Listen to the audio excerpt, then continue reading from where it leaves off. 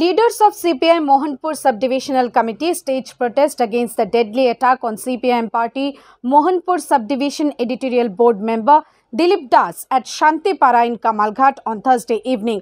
From there, a delegation of leaders met the subdivisional police officer and placed a deputation. Brutal attack was organized by the BJP goons on CPM leader Dilip Das at Bamutia area. The incident took place at Shantipara area in Bamutia.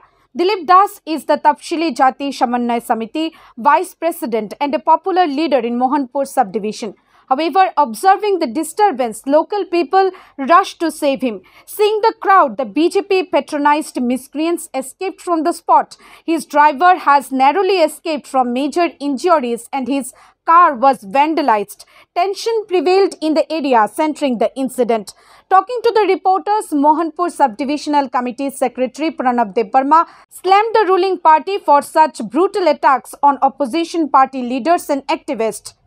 হ্যাঁ, জেলা কমিটির সদস্য মহকুমা সম্পাদক মণ্ডলীর সদস্য CPM এর এবং প্রাক্তন জেলা সভাধিপতি পশ্চিম ত্রিপুরা দিলীপ দাসের উপর প্রাণঘাতী হামলা হয় এই প্রাণঘাতী হামলা হওয়ার হ্যাঁ, প্রতিবাদে আজকে এইখানে একটা বিক্ষোভ সভা এবং একটা প্রতিনিধি দল।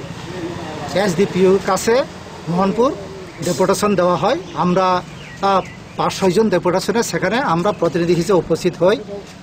এসডিপিউর সাথে আমরা একটা মেমোরান্ডাম এসডিপিউর কাছে আমরা সাবমিট করি। আলোচনা চলে।